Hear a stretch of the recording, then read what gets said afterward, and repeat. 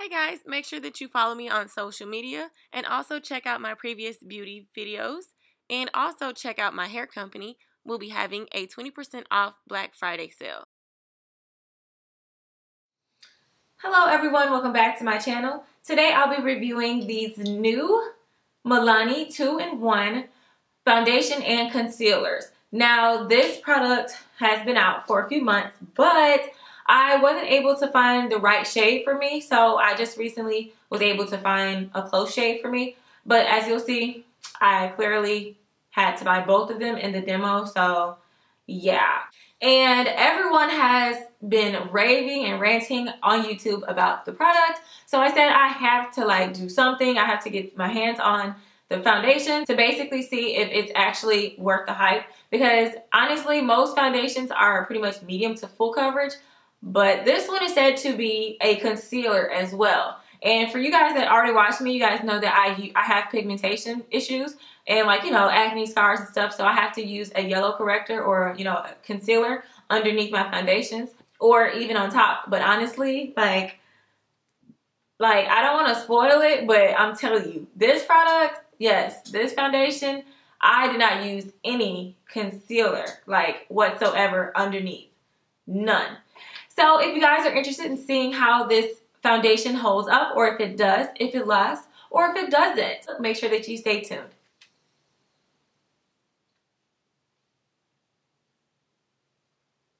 Wow. Like you see that dark spot that I had? It's like gone. This is some bomb stuff. Okay. Well, already we do know that it definitely conceals. And honestly, it doesn't feel heavy coming on like that. This might be my new staple product. It, it lasts though because I like matte. Like I love matte foundations because my T-zone is so oily.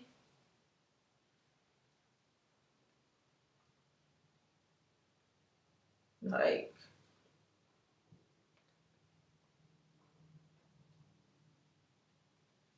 a little dark and orange.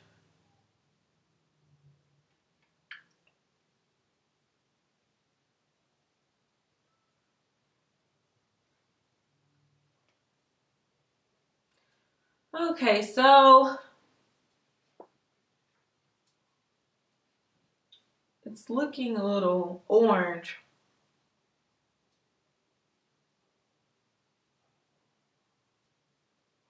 What is gold glitter? It's getting on my nerves. See, I'm gonna have to mix. See, this is too dark. It is too dark, unfortunately. Um, but I'm going to keep this one because I might go ahead and buy the next color, the next shade. But I actually love I actually love it because of the coverage. Like it's 100% full coverage. Like definitely. And this is like just one layer. Um, and it has covered like all of my dark scars. This is bomb. Um, but it's not my shade. But it's almost close. But like like I said, I can always try to mix the two together, the next color.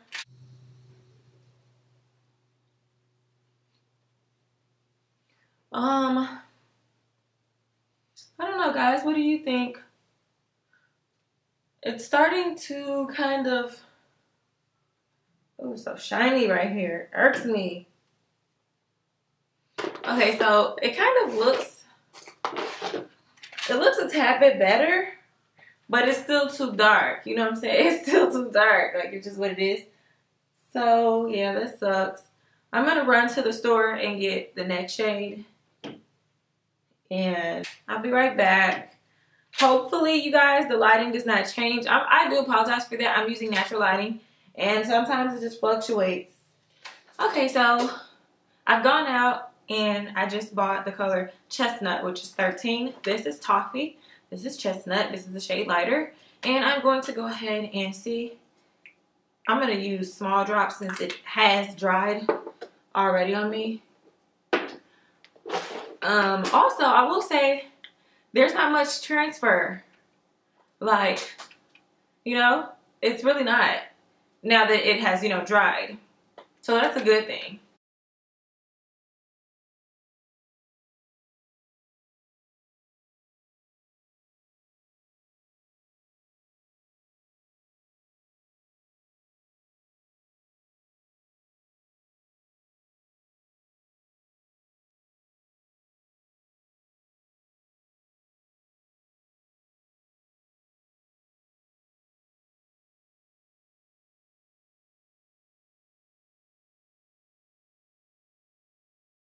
Is it looking better? No. The screen is like far from me. This is a 50 millimeter lens. So I can't just like, I'm not really close to the stand. The stand is like three feet away, three, or four feet.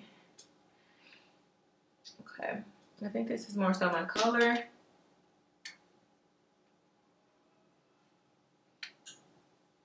But um, I can tell already by just like going out to the store that this is going to last. Like this is not like something that's gonna just like wash away. Like the Maybelline Fit Me Matte and Poreless. Matte and Poreless stays, but it just depends. Like you know what I'm saying? It's not as full coverage as this. Because like I said, this is a concealer and foundation. So they did really, really good. I've used a blend I used the Beauty Blender to a damp one to blend it out. So, I don't know, is it looking better? as far as the color goes, dismiss that, please. But just look at the fact that it's a great foundation. Let's just talk about the foundation itself. Now, let's say that, let's pretend in a magic Alice in Wonderland fairy tale that, you know, it's the perfect color. If you do find your shade, God bless you, okay? But this is definitely a good foundation. This will definitely be like my fall favorite. Like, I love that it's like not transparent, bro. I do. Love it. I love that. Like, ooh wee. This is like, this cuts down like 10 whole minutes of like every tutorial that I've ever done. like I won't have to do the whole, you know, color correcting and everything. Oh, y'all gonna be like, girl, yes, spare, spare us. I'm liking it. I really am. Mm, the color, like I said, is kind of off. Mm.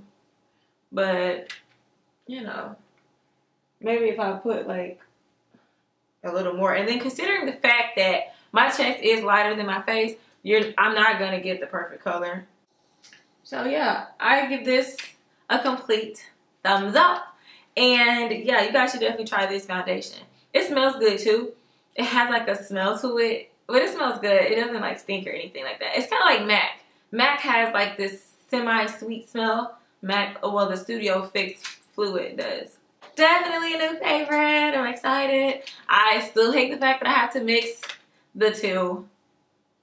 Ugh. But, you know. Mm.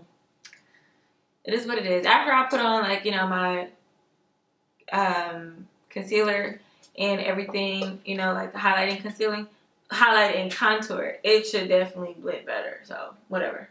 So, yeah, thank you guys for watching. That wraps up this video. Make sure you thumbs up and subscribe and check out my other beauty videos and see you guys next time.